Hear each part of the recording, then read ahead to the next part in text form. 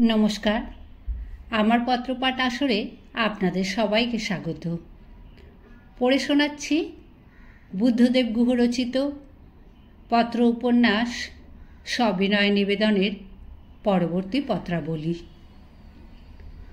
Rajasvi Basu, Betla, Palamau, Ballygunge press, Kolkata. Rajasvi প্রীতি ভাজনেশু চিঠি পেয়েছি গ্রীষ্মবনের মনের কামনা ভরা। কেন যে অমন চিঠি লেখেন তা জানি না। জ্ঞান আমারও কিছু কম নেই। আপনার মতো অবলীলায় তা বিতরণ করতে পারি না? এই যা। অবদমিত কাম সব যুবক যুবতী বয়ে বেড়ায়, কিন্তু যেখানে সেখানে তার অপনোদন বা পরিপ্লুতি। আপনি অপনোদন বলেছেন, আমি বলব পরিপ্লুতি। তো সম্ভব নয় এবং সেইটাই দুঃখর অথবা আনন্দের। তবে মিথ্যে বলব না। আপনার চিঠিগুলি আমার জীবনের অন্যতম প্রাপ্তি। আপনার জীবনের উচ্চাশা যদি টাইগার সেভিং না হয়ে লেডি কিলিং হতো, তবে শুধু চিঠির ছড়া দিয়েই আপনি অনেক মেয়েকে সহজে বধ করতে পারতেন। এবং অনেক মেয়ে ছুরি, রিভলভারে বা ধর্ষণে মরাচ্ছে চিঠিতে মরতে ভালোবাসে। মস্ত ভরসার কথা এই যে বিধাতা যাকে মারণ ক্ষমতা দেন, অমিত শক্তিশালী করে এ ধরাধামে পাঠান, তাকে হননের মানসিকতা আদৌ দেন না। তার হাত দিয়ে সৃষ্টি বিনাশ না করিয়ে স্থিতি সুদৃঢ় করেন। You must count your blessings mister Rajasvi Roy Shruti আসছে এখানে আগামী সপ্তাহে। আগামী সপ্তাহে শনি রবিবার থাকবে আমার কাছে। চলে আসবেন নাকি? খুব ভালো পোলাও খাওয়াবো আপনাকে। আমার এক বন্ধুর কাছে তাহেরই রাঁধতে শিখেছি। খেয়েছেন কখনো? যদি আসতে পারেন, তাহলে দেড় দিন আমার যাবতীয় গুণপনা সম্বন্ধে একটি কনডেন্সড কোর্স করে যেতে পারবেন। আমাদের বাড়িতে দুটি এক্সট্রা এয়ার কন্ডিশনড বেডরুম আছে। কোনো সময় এলেই আপনার অসুবিধা হবে না। পা কেমন? তাড়াতাড়ি ভালো হয়ে উঠুন। এমন গরমের সময় এমন বিচ্ছিরি অসুস্থতার কথা ভাবলেও গা ঘিন ঘিন করে। মানুষের হাত পা ভাঙে ছেলেবেলায়, মন ভাঙার বেলায় এসব কি? শুনতেও ভালো লাগে না। অ্যাবড়াকা ডাবড়া গিলি গিলি গিলি গিলি কাস পকাস রাজশ্রী বসুর পা কুইকলি ফার্স্ট ক্লাস। ইতি প্রীতিধন্যা রীতি। রীতি রায়, কলকাতা, হাটিয়া, রাঁচি। রীতি। আগামী সপ্তাহে যেতে পারছি না। তার পরের সপ্তাহে যাব। মা বলেছেন, জামশেদপুরে সাত দিন থেকে তারপর যেতে। শৈশবের পর বিবাহিতা কন্যা যখন গর্ভবতী হয়, তখন তাদের উপর মায়েদের হারানো এখতিয়ার বোধ হয় হঠাৎ ফিরে আসে এবং এলেই তারা প্রচণ্ড বিক্রমে সেই এলাকার জবরদখল নেন। এই জোতের মালিকানা নিয়ে শাশুড়েরাও উচ্চবাচ্য করেন না কোনো। এইটা বেশ মজার লাগে।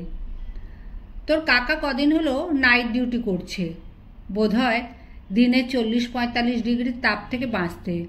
ফলে যতক্ষণ বাড়িতে থাকে, ততক্ষণই কুম্ভকর্ণ। রামায়ণ সিরিয়ালের এফেক্ট হয়ে থাকে। তাকে হয় ঘুমোতে দেখি, নয় খেতে, নয় পোশাক পরতে। জানি না, হঠাৎ নাইট ডিউটির ভক্ত হয়ে পড়ল কেন?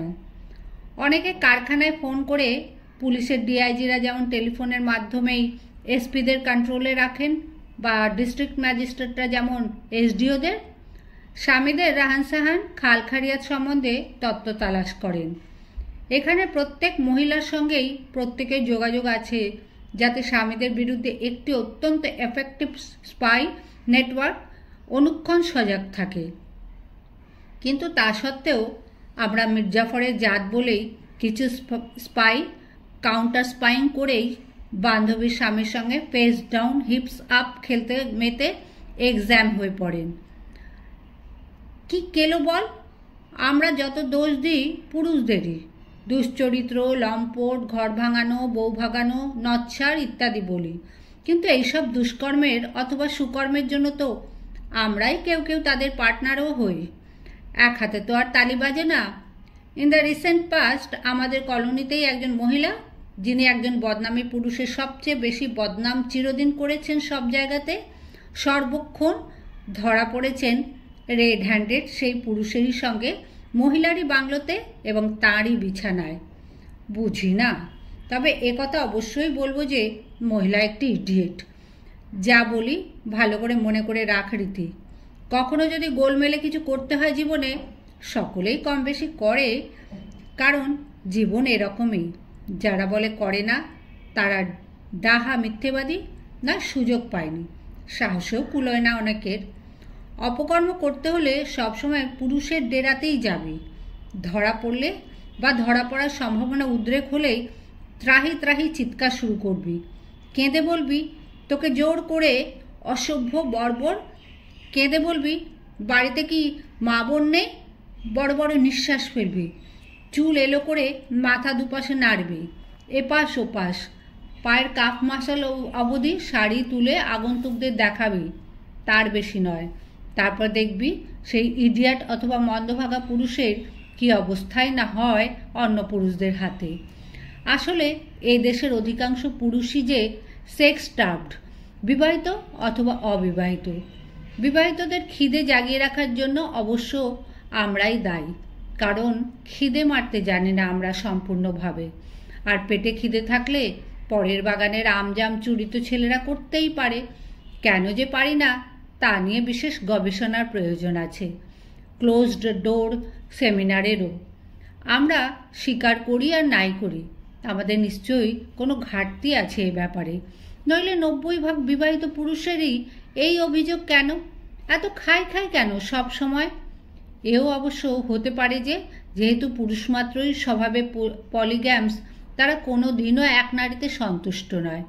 কিন্তু নয় বলেই তো আমাদের রণংদেহী মূর্তি ধরে দশভূজা হয়ে পাঁচজনের ভূমিকা একই দেহে মনে পালন করা উচিত? তা আমরা করি না। রুচিতে, অহংয়ে এবং হয়তো সংস্কারে বাধে বলেই ভণ্ড এবং অনাচারী অভিনেতা স্বামীদের নিয়ে ঘর করতে হয়। যা বলছিলাম।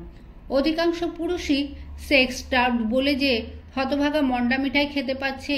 তাকে ধরে ক্ষুধার্ত বিক্রিদেরই মানসিকতায় বেধড়ক পেটাই দেয় অন্য পুরুষেরা। একা ঘরে তাদের প্রত্যেকে সুযোগ দিলেই উদ্ধার যাকে করল তাকেই ধর্ষণ করত। সেই হিরোরা প্রত্যেকে বিনা বাক্য ব্যয়। পুরুষগুলো অধিকাংশই জানোয়ার। তোর অরণ্যদেবের জুরি, জুরিসডিকশনেই তাদের পাঠিয়ে দেওয়া উচিত। পুলিশ অথচ ভদ্রলোক যেমন অতি কম দেখা যায়, পুরুষ অথচ ভদ্রলোকও ঠিক তাই। সুযোগ পেলেও এ ব্যাপারে বিবেকহীন হয়ে সেই সুযোগ না, নেয় না এমন যোগী পুরুষ বড় একটা দেখাই যায় না।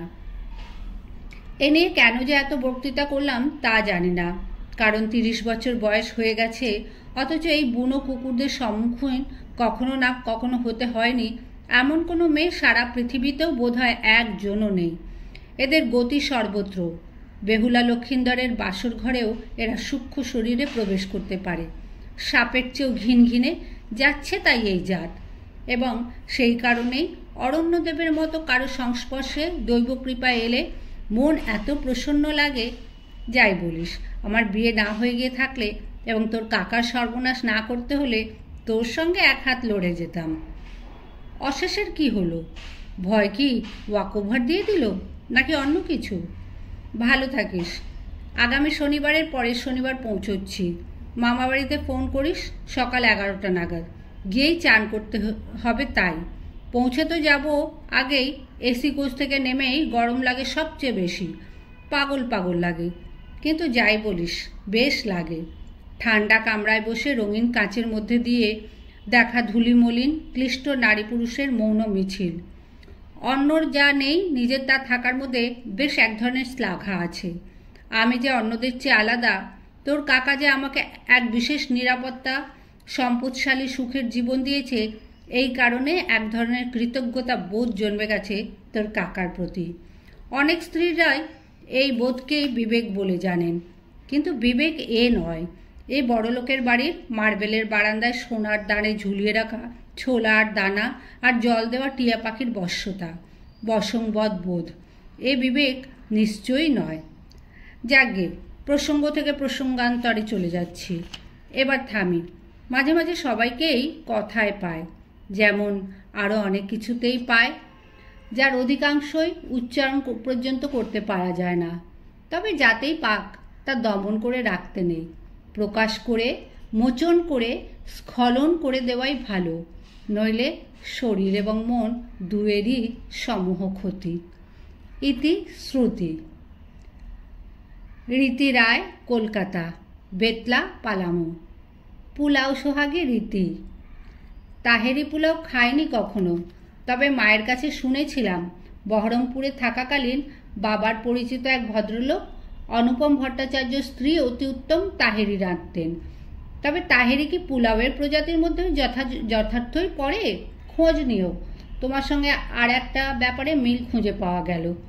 উমদা পোলাওয়ের খুশবু আমাকে যতখানি খুশি করে, ততখানি খুশি করে এই গ্রীষ্মবনের করঞ্জ ফুলের গন্ধ। আব্দুল হালিম সারার সাহেবের বইয়ে নবাব ওয়াজিদ আলী শাহ সাহেবের সময়ে লখনৌ শহরে পুলাওয়ের বিচিত্র রকমের বর্ণনা আছে। তারও অনেক দিন আগের কথা জাহাপনা আকবরের সময় যে কত রকম পোলাও ইস্তেমাল হতো বাবুর্চিওয়ালাদের আর হারেমের বেগমদেরও দ্বারা তার ফিরিস্তি পড়লে জিভে জল গড়ায় আমার আবুল ফাজল তার আইনে একবারই বইতেও বিভিন্ন রকমের বর্ণনা ও রন্ধন প্রণালী উল্লেখ করেছেন আবুল ফাজলের বই তো লেখা শেষ হয়েছিল ষোলোশো দুই খ্রিস্টাব্দে শেষ ঠিক হয়নি সেই ঘৃণ্য রোগ, ঈর্ষা কবলিত হয়ে আকবর পুত্র সেলিম তার বিরুদ্ধে চক্রান্ত করে বুন্দেলার রাজা বীর সিংহ বুন্দেলাকে দিয়ে গোয়ালিয়রের কাছে আবুল ফজলকে চক্রান্ত করে হত্যা করিয়েছিলেন। ষোলোশো দুই খ্রিস্টাব্দের অগাস্ট মাসে ঈর্ষাকারীকে মানুষ ভুলে গেছে সহজেই, কিন্তু প্রায় তিনশো বছর পরেও আবুল ফজল অমর হয়ে আছেন এবং থাকবেন আরও হাজার বছর। যে থাকার, সে থাকেই। তার পেছনে লেগে তাকে অপমান, অসম্মান করে নানাভাবে তাকে হেনস্থা করে, এমনকি তাকে হত্যা করেও তার কীর্তিকে মোছা যায় না। কীর্তি মোছার সবচেয়ে উৎকৃষ্ট উপায়, কীর্তি দিয়েই তাকে মোছা। যারা তা পাড়ার যোগ্যতা রাখেন না, তারাই চোরাগোপ্তা, খুন এবং চরিত্র হনন করে প্রতিযোগীকে মুছে দিতে নিষ্ফল চেষ্টা করে। The history of Hindustan during the reign of Jahangir Shahjahan and Aurangzeb বইটি লিখেছিলেন ফ্রান্সিস গ্ল্যাডউইন। সতেরোশো অষ্টআশিতে আইনে আকবরী এই ইংরেজি অনুবাদ কলকাতা থেকেই প্রথম প্রকাশিত হয়। তারপর তৎকালীন বড়লাট ওয়ারেন হেস্টিংস লন্ডন থেকে সেই বইটি প্রকাশের বন্দোবস্ত করেন। গ্ল্যাডউইনের অনুবাদ সকলের মনোপুত ছিল না, তবে একটি কাজের মতো কাজ তো হয়ে করেছিলেন। ইংরেজ নবীশ আমরা ইংরেজিতে লেখা না হলে তো পড়তেই পারতাম না। গ্ল্যাডউইনের পর এইচ ব্লকম্যান এবং এইচ এস জ্যারেটের অনুবাদ প্রকাশ করেন। সেগুলি অপেক্ষাকৃত প্রাঞ্জল।